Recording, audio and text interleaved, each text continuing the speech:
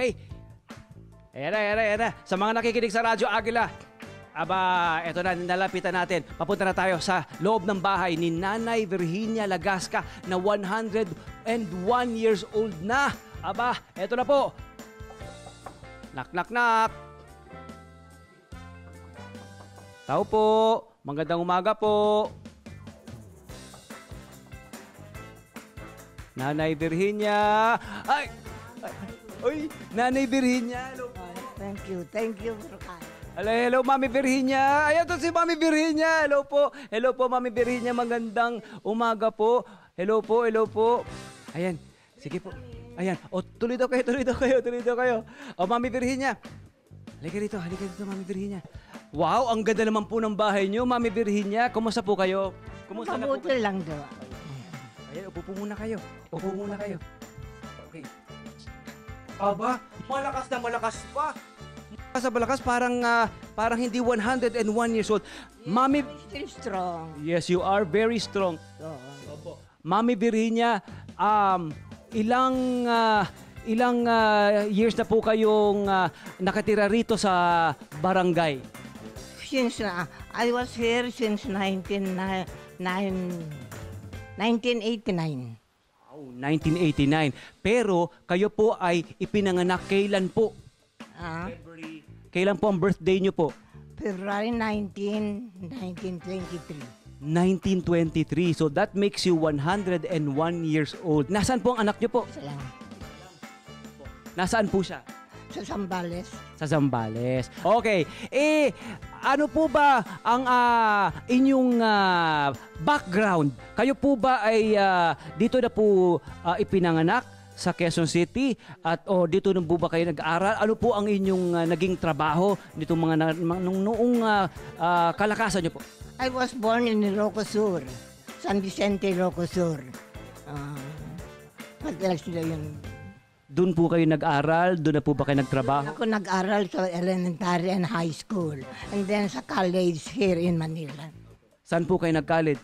Sa Far Eastern University. Ah, FEU! FEU, ano po ang inyong naging kurso, mami? Ano pong course nyo po? Ah, Ano po ang inyong course? ba- Bachelor of Science in Commerce.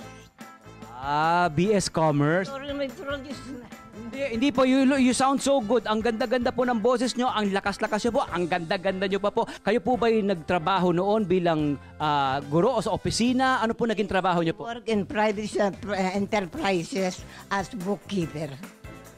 Bookkeeper. Tapos po, paano po kayo, saan po kayo nagkakilala ng iyong asawa at ah, No, at that time because I I uh, I I I started uh, making business. I I thought of um, going to Bicol, uh, Naga Bicol to uh, make business there. Ma- um, I, I I sold mga jewelries, mga native clothes and all. Napakarami nyo na po pala mga ginawa, mga trabaho. Ang dami nyo na po pinagdaanan. Eh, ito pa, ito pa, kung siya ay pinanganak, ipinanganak noong 1923, ang ibig sabihin niyan, inabutan nyo rin po yung mga, mga significant na mga event sa ating buhay, di ba? Halimbawa po, yung World War II, inabutan, inabutan nyo pong World War II. A member of the world, one two, So, isa po kayong veteran. veteran. Veteran? Nasaan po kayo nung, nung ah, kasagsagan po ng World War II? Nasaan po kayo noon? Ha? Nasaan po kayo nung kasagsagan po ng World War II? Kasi 19 years old. Vicente Locosur. Yan. Tapos po, and then your, yung buong family niyo po naroon po sa Ilocos noon. Yes, my buong family was very still in Ilocosur at that time.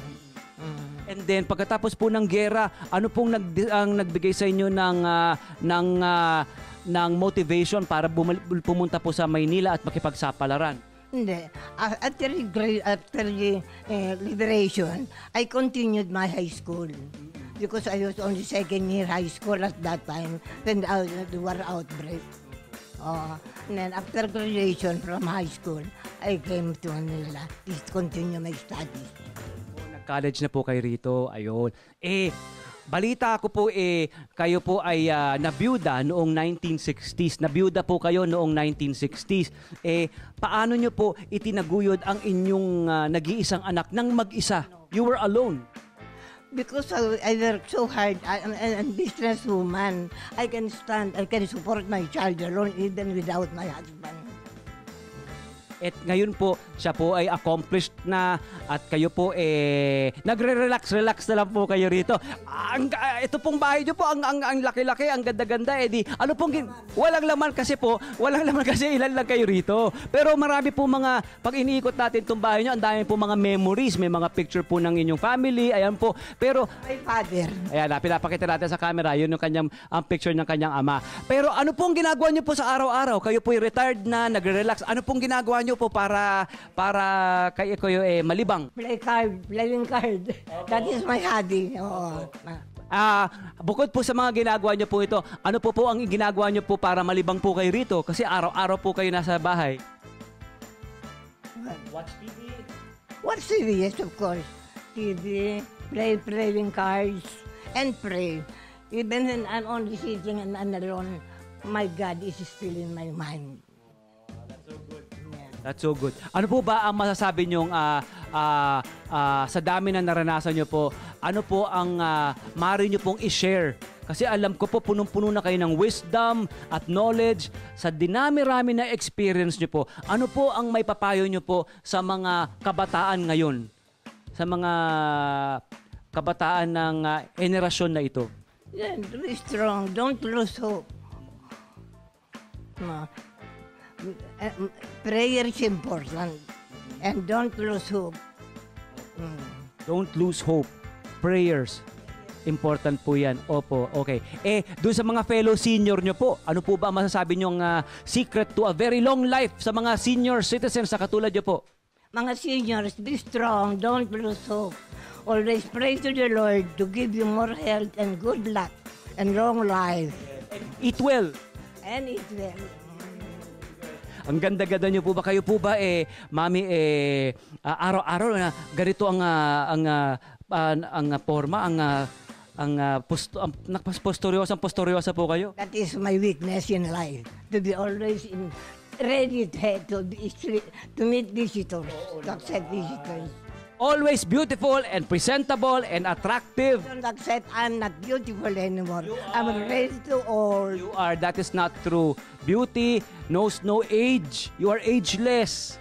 Mami, Mami, Mami Virginia, maraming salamat po at eh, pinatuloy niyo po kami sa inyong tahanan. I wish you the longest life ever at ah, sana po lagi kayong happy at healthy. Thank you, thank you. Please include me in your prayers for a long life and good health. Always, Mami, always. Palapakan natin si Mami Virginia, mga kabarangay. Hello po mga kanet 25! Si Kuya Tony Pet po ito mula sa Love, Tony Pet and Everything. For more Love, Tony Pet and Everything updates, just click on our subscribe button and follow us on our Net25 social media pages at Net25 TV and at Net25 Entertainment Facebook. Magkita-kita po tayo!